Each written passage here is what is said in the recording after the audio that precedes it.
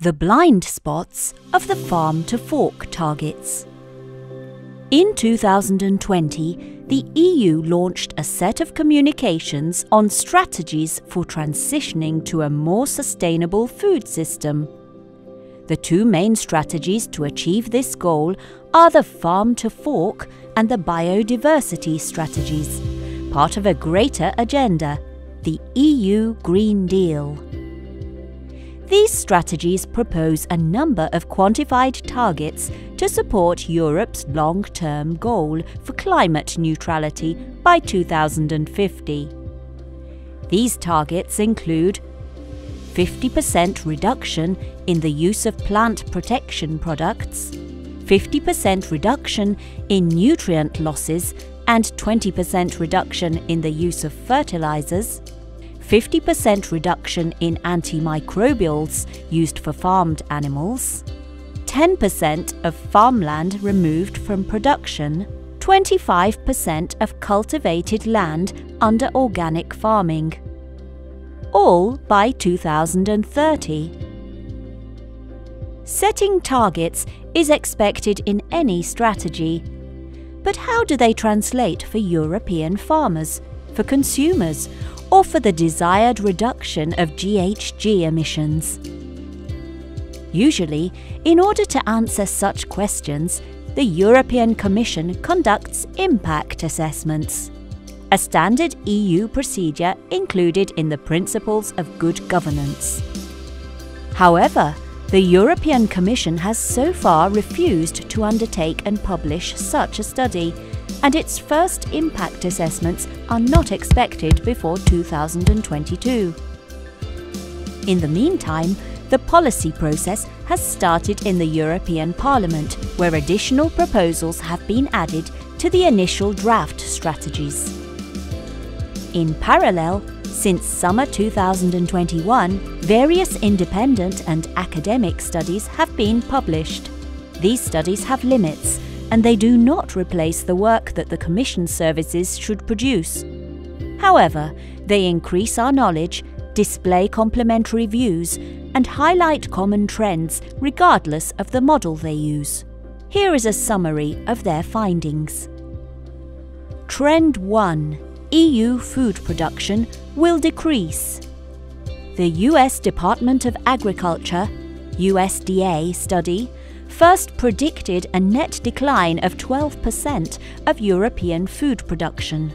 This report was later backed up by a technical report of the European Joint Research Centre predicting a 15% decline in pig and poultry production, a 14% decline in cattle production, and an 11% decline in milk production. In the crop sector, JRC researchers predict an 8 to 26% drop in wheat production, 8 to 22% for corn, and 10 to 24% for oilseeds. We often forget that Europe both produces for its internal market and supports food security around the globe thanks to exports. According to the USDA study, the farm to fork strategy could increase the number of food insecure people by an additional 22 million in 2030. Trend 2 Food prices in Europe will increase substantially. A decrease in crop and livestock production, even if one considers dietary changes, will have significant implications for consumers due to higher food price. According to the University of Kiel, the implementation of the farm to fork strategy as it stands would lead to adjustment costs financed by consumers with an estimated consumer welfare loss of 70 billion euro. In other words, a family of four would have to pay an additional 630 euros per year for food. According to the JRC and USDA studies, we will see food price increases between 12 and 17 percent.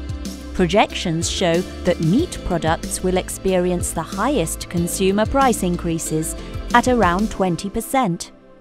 On top of this, the European Parliament proposes taxes aiming at limiting the consumption of certain high carbon emitting products. There is therefore a risk of creating a two tier food system. 3. The EU agri food trade balance would deteriorate sharply. According to the JRC and Kiel University studies, the EU will increase its dependency on beef, sheep, and goat meats when it comes to livestock products. The EU will remain a net exporter for poultry and pork, but foresee a significant decrease in this exporting capacity.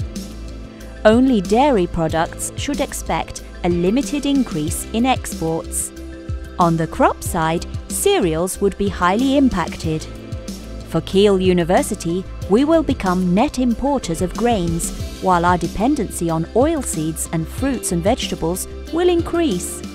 So, while the EU is discussing strategic autonomy following the COVID crisis, and while activists are asking for a change in diet towards more plant based foods, it's difficult to understand how the farm to fork strategy will really help to fulfill these goals. Trend 4 EU farmers' incomes will be impacted. The studies published indicate a clear trend.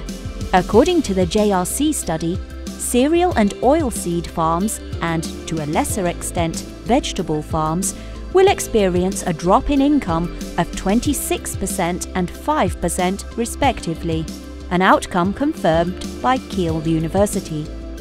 On the livestock side, farmers would see their incomes increased due to substantially higher consumer prices for meat products.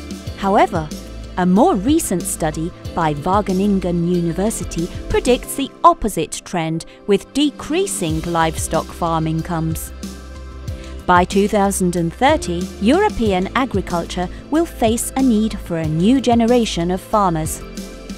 If we want the farming business to remain attractive and to change our food consumption patterns, the EU must allow young farmers to make a decent living from both crop and livestock production.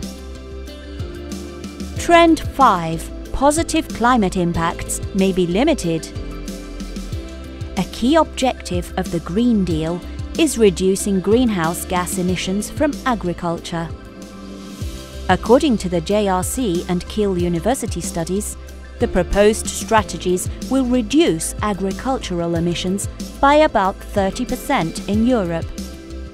However, both studies also show that around 50% of the gains obtained in Europe will be offset by emission transfers to third countries through increased import of food no longer produced in the EU.